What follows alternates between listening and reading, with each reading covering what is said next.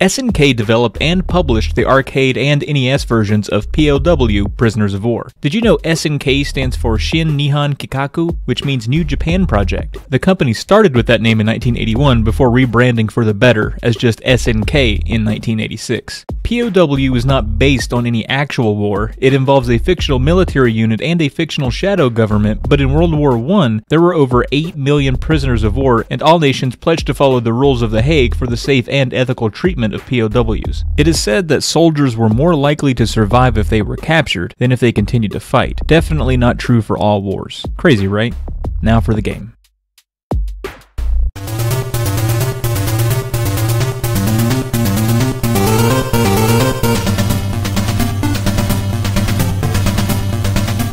POW Prisoners of War is a beat 'em up plain and simple. You take control of Bart. That's right, Bart. And Bart is the captain of an Army Special Forces unit simply codenamed the letter M. Your mission is to infiltrate GOON, G O O N, which stands for the Government of Offensive Network, which doubles as the worst acronym and title for any entity ever, real or imagined. GOON is trying to establish a worldwide smuggling ring, and you have to purposefully get captured as a POW because you're too bad A to get captured accidentally, and then break out of the armed camp and fight your way to the leaders of Goon with nothing but your bare fists and sometimes the enemy's guns. Because it's a basic beat 'em up on a system that features only two action buttons, B is punch, A is kick, and A and B together perform a jump kick. The jump kick is easy to perform and is the bee's knees for most of the game. Enemies take a bunch of hits to eliminate sometimes, and the jump kick feels like a safer bet for not getting ganged up on mid combat. Easily the most satisfying aspect of the game is punching dudes and knocking them clear across the screen. Pow! Boom! Ah, take it!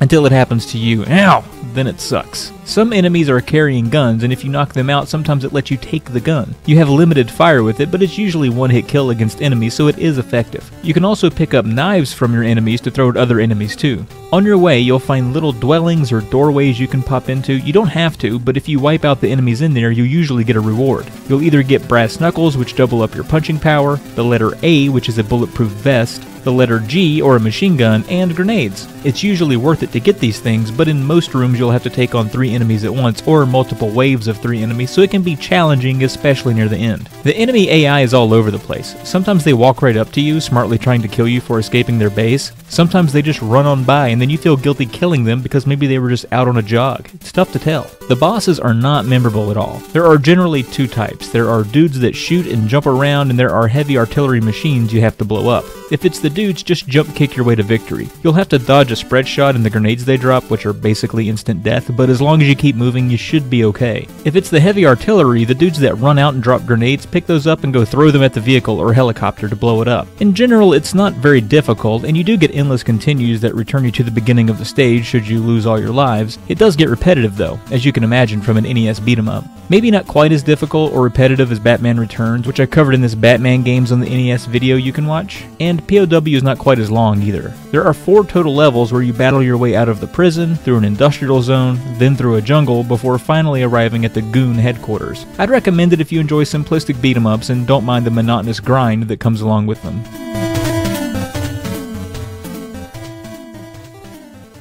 If you enjoy the NES version, give the arcade version a try. It actually lets you play with two players simultaneously, where the NES version is only single player, which is a big bummer for a beat 'em up. As you'd expect, the arcade version is more difficult. Many of the power ups are gone, there are more enemies, you can't use grenades, and there's also a different final boss. Well, that does it for POW Prisoners of War on the NES. Be careful behind enemy lines, and thanks for watching.